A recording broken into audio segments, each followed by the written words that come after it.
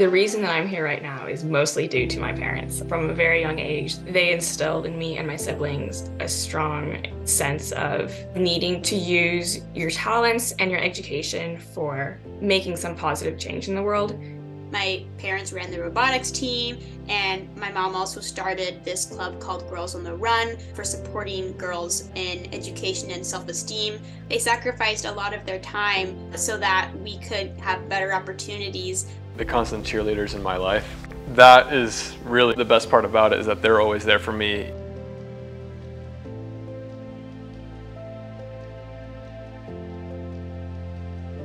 When we first heard about being Parents of the Year, we were so overjoyed and you know you get awards throughout your life but this one was something that we did together that represents the highest priority of our lives which is our children. I'm the youngest, three of us.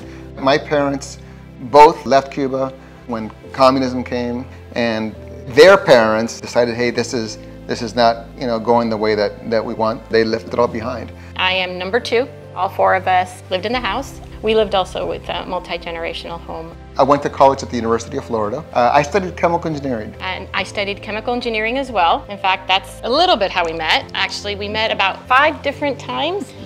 And then we found out we were both chemical engineers. So I run the operations for a plant that's here in the Houston area. While we were working, uh, we got our MBAs. We grew up in South Florida, I mean, from very humble beginnings. And so uh, for us to go to college, uh, was was a stretch, and HSF was a very was a key part of that for us. I received it, my brother received it, my sister received it, all your siblings received it. I mean, it was uh, it was it was all talked about. It was like that's what you needed. it's the one scholarship that we when like, children were graduating, we're like HSF. Yeah. so Isabella, she studied biomedical engineering. She's about to finish right now. She's a senior. Her dream right now is to go to medical school. Annalise is our second daughter, and she is at George Washington University.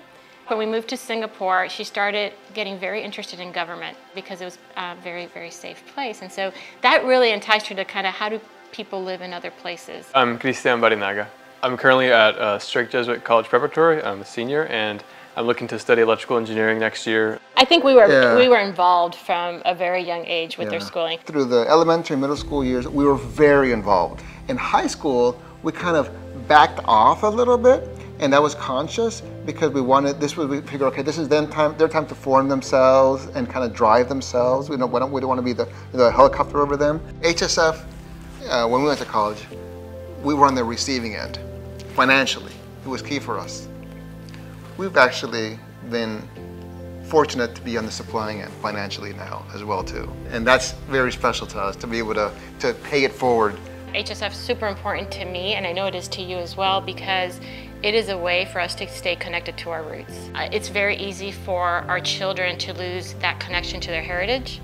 So HSF is another way for us to keep that alive for them. You even have a, an extended family of HSF members that are also here to support you through education and through a successful journey forward. HSF not only has helped me financially um, in college, but also has helped given me the support to be able to navigate the professional world. Career support has been very important. This summer I'll be interning at Boston Consulting Group.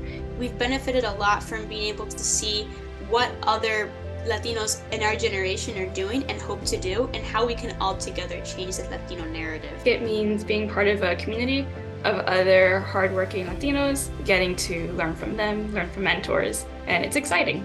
I'm very proud of the way that they have gotten to who they are today they have their strong commitment to their morals and to their values, and also have the strong commitment to education and to giving of what they have to others.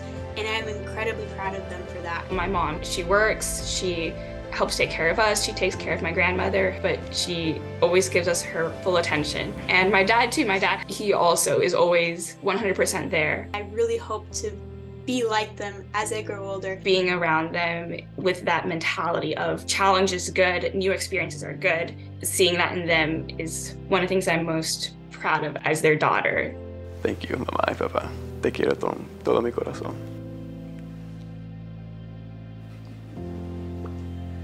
Thank you, HSF.